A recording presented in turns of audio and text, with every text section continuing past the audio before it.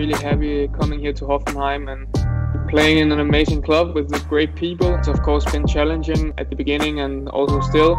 It's a big step from the from the Danish league to the to the Bundesliga. It's yeah quite a different level. So I'm I'm adjusting and and yeah trying to to get better each day. But as you said, I'm really happy to be here and I've been playing a lot.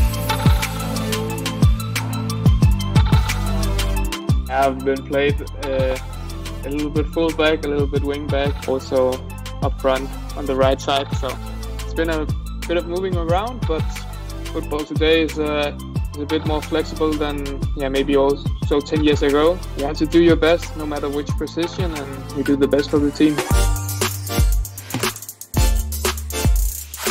Of course, find it really nice that he would uh, come here to play football and. Uh, yeah, he's a good friend and we enjoy the time a lot together. It's really nice to have a, a, a, Danish colleague and we have a lot of the same views on football. So we, we, we talk a lot of football, of course, but also it's it's nice outside of football to have a, a guy at your own age to just yeah just be around.